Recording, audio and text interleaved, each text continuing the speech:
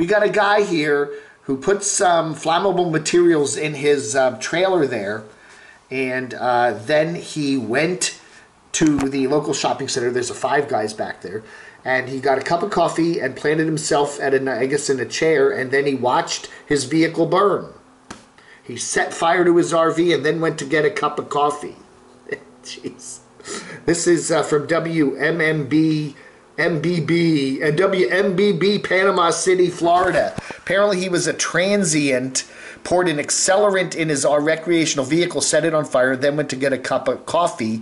The Panama City police uh, said that just happened uh, a week ago. So that was in early, very early December. The incident happened at 9 a.m. in the parking lot of the Panama City Shopping Center, Square Shopping Center, after fire and fire police officers and firefighters rushed to the scene to put out the blaze. Whatever. And anyway, so. Uh, they uh, uh, Thomas was his name, 30 years old. He was enjoying a cup of coffee and watching the scene police wrote in a news release. Witnesses directed investigators to the guy, and he was arrested and charged with arson. Anyone with more information is, is can call the Panama City Police at 850-872-3100. But apparently, uh, yeah, the yeah, the camper was you know it was a it was a Walmart. Okay, it was at a Walmart on 30 on, on 23rd Street, and no one was hurt. But there it is. That's what happened to it. I guess he didn't wanted to get rid of it, right? And just uh, hey, you know, rather than just abandon it somewhere or push it down a cliff, push it over a cliff, he just thought he'd set it on fire and uh, go have a cup of coffee. I don't know, man. Can't do that. Can't do that. That's against the law. Letters, letters, letters, letters, letters, letters, letters, letters, letters for the uh, 14th of no 14th of December 2021. Uh, no Name says a Tesla Plaid Model S is $130,000. Now, why is that relevant in today's letters? Because that was the car that Will Prouse, the um, guy who runs the solar power channel with all the batteries and power stations and all that, he's, he's gotten very wealthy doing YouTube and uh, has a house, beautiful house there in Vegas and a couple of cars, including a $130,000 Tesla Plaid Model S, which is um, apparently not. Again, he, he had a lot of criticism of problems with this brand new car. Billy Bob says there are very few nomads I follow uh, anymore. Uh, I follow, uh, yeah, whatever. And Morgan is played out. Morgan, I think is um, one of the many nomads we see that just seems to have run out of content. You know, I mean, really, you know, you get to a point where you just kind of you you get dependent on the YouTube income, and you just kind of run out of interesting stuff to put up anymore, right? You know, it's the either the same thing over and over again, or you're just kind of sitting still. We like to see Morgan on the on the move. Okay, we do like to see her moving a lot, and she's got a house now in Memphis and is just kind of doing you know building out the the other Bronco she bought. So I don't know.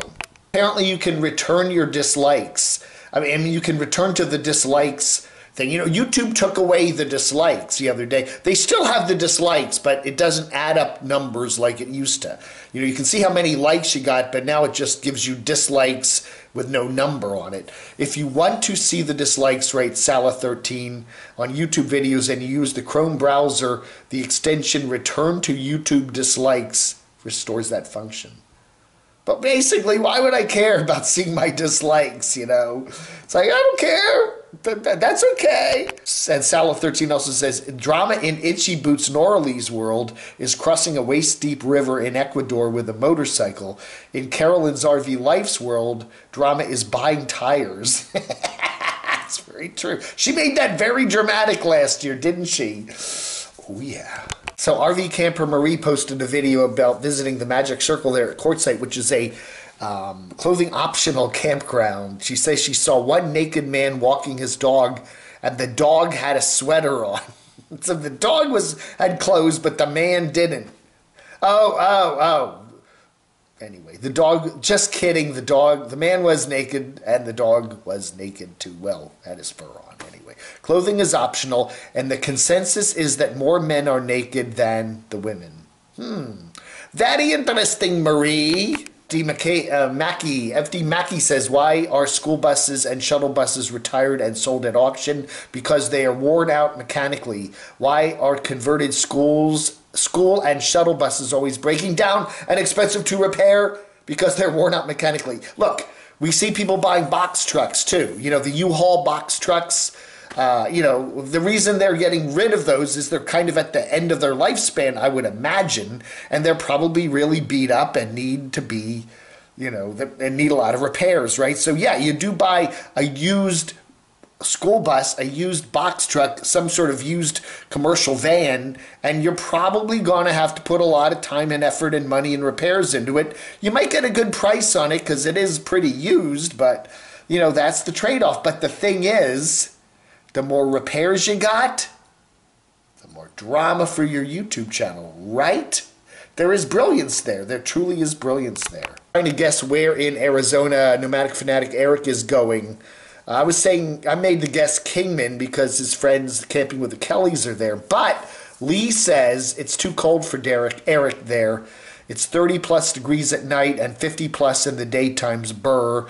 So yeah, he'll probably head. I guess further south down to Tucson, Phoenix, or you. Jason 70 says, I unsubscribed from Morgan the other day. Anything I really want to know is in your videos. Again, we don't want to, you know, we like these nomads. We tell you what they're doing, but we're not encouraging people to unsub from. I, you know. but, uh, you know, keep them sub, but, you know, we can't report every, I can't report everything they do, but you certainly can, you know, get get get a good idea of whether you want to watch their, you know, some of these people like these YouTubers, 38 minute videos, 45 minute videos, as long as a TV show or longer. Uh, you know, we, we at least give you the idea of whether you want to watch stuff or not. Leisure 057 blank says, Will Prouse. I started watching him when he, he was living in an RV parked on the street with all the other homeless near San Francisco. He has his own success story. Amazing guy. Yeah. I mean, he now owns a fancy house there in Vegas and has a $130,000 Tesla and another car that's probably equally as expensive. So he has done very, very well on YouTube.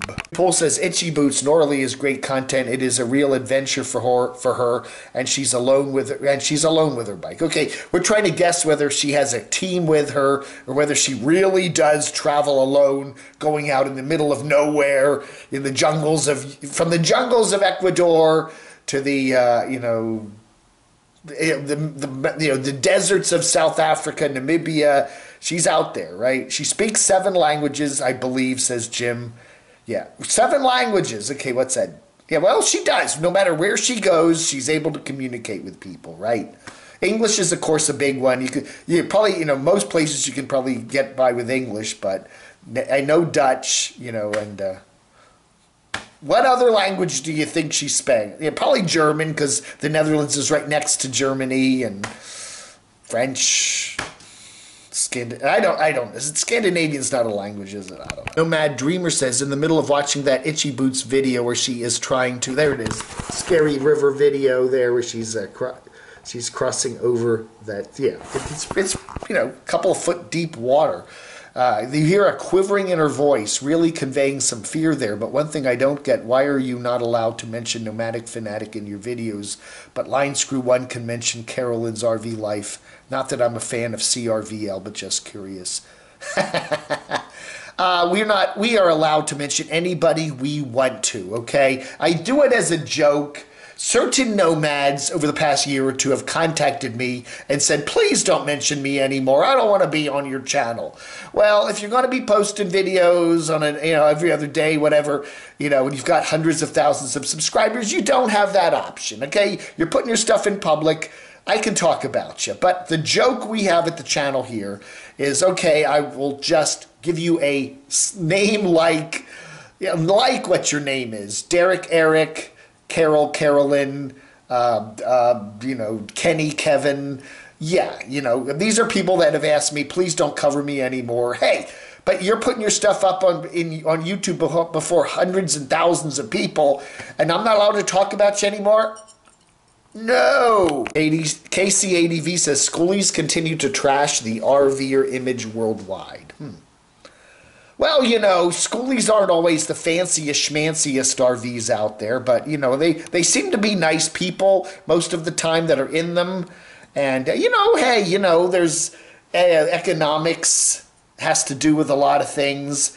And, you know, some nomads are richer than others, and some can have beautiful Class A's with slide outs and piano bars and stuff, and some can afford an old bus, you know, but I, you know, it's no, I you know you know they may you know it's kind of like the low rent district, but hey, they even take care of it and you know and be a good steward of the land. What's wrong with that? It's it's running. Santa Santa Dave brings you a nomadic Christmas, better than Bob.